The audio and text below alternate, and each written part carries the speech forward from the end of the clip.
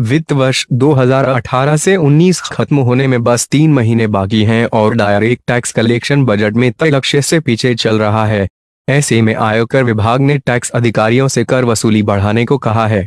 इसके लिए टैक्स चोरी की आशंका वालों का सर्वे करने और उनके खिलाफ कोर्ट में मुकदमा दायर करने का निर्देश दिया गया है। बकाया वसूली और इस साल की डिमांड में सिर्फ़ एक दशमलव एक परसेंट बढ़ोतरी। सर्वे में टैक्स अधिकारी करदाता द्वारा घोषित आय को वेरीफाई करते हैं।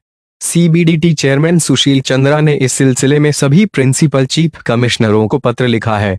सीबीडीटी आयकर विभाग की शीर्ष बॉडी है। डायरेक्ट टैक्स में व्यक्तिगत आयकर और कंपनी कर आते हैं सीबीडीटी चेयरमैन के पत्र के मुताबिक पिछले वर्षों की बकाया वसूली और इस साल की डिमांड में सिर्फ़ एक दशमलव एक परसेंट बढ़ोतरी हुई है। पिछले साल इसमें पंद्रह दशमलव छह परसेंट ग्रोथ रही थी। देश के ज़्यादातर क्षेत्रों में ग्रोथ नेगेटिव है। चंद्रा के अनुसार मौजूदा वित्त वर्ष में दिसंबर तक प्रत्यक्ष कर संग्रह सिर्फ़ तेरह दशमलव छह परसेंट बढ़ा है, जो बजट में तय लक्ष्य से कम है।